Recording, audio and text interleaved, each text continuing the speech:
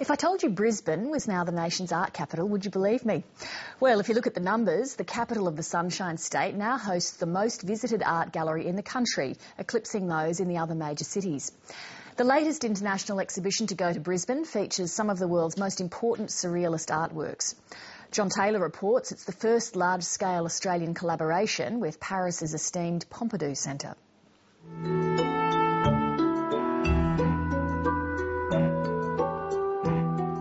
Just point out that we have agreed to lend to this show very rarely lent masterpieces by Dali, by Max Ernst, Giacometti, Magritte, etc. And that some visitors in Paris have already expressed their frustration uh, that a few masterpieces that usually hang on our walls were missing. Surrealism, the poetry of dreams, is the latest in a series of international blockbusters to come to Australia.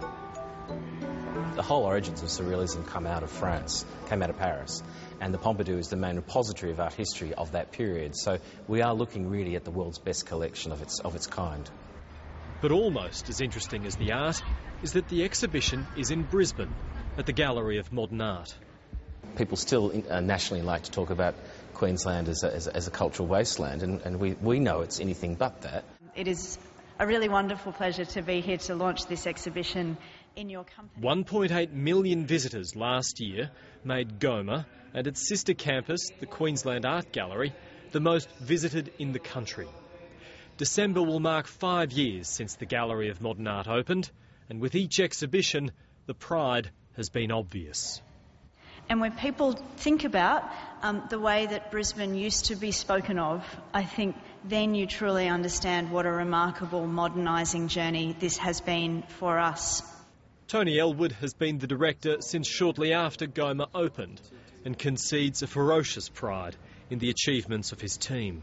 I mean, I think growing up in country Victoria means you always know what it's like to be I suppose, led to think that you might not be the best, you're second best. You're not from the city, you're from the country. You're in Brisbane, you're sort of told there's this history of, of hang-ups, of, of, of, of, sort of people sort of um, making excuses for who they are and, uh, and for being the sort of national joke.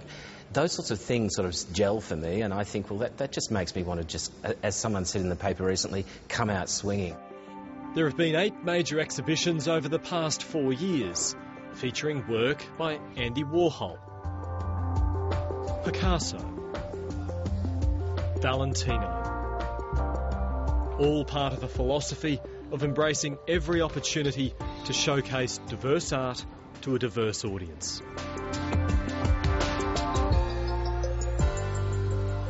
We have been monitoring uh, for, for some time and um, uh, we've noticed how the attendance figure has increased, um, how it's, it's driven by a, a vision that is uh, um, shared by director Tony Ellwood and the, the, the, trustees, the authorities of Queensland of bringing art and the people together. That's a, a vision we very much relate to. It's a, the core vision of the Pompidou. Approaches by 7.30 to the National Gallery, the National Gallery of Victoria and the Art Gallery of New South Wales to discuss how GOMA has changed the national arts scene were declined. Technology is integrated in a lot of the experiences.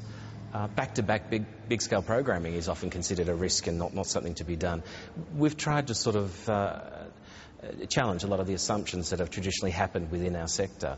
But Brisbane's success is not without its critics.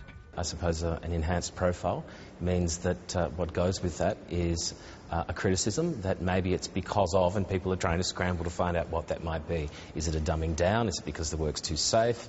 Uh, a lack of scholarship? Um, we've been criticised for allowing people in who wear leisure wear. I mean, you really can't win. But until October, Brisbane hopes to wow audiences with surrealism. It's reflecting a period that many of our more traditional visitors who say they don't like modern art um, uh, will possibly not reject because they'll start to realise it reflected something that happened during their own lifetime that was about a level of innovation, you know, almost 80 years ago, uh, and maybe they need to reconsider that. John Taylor reporting.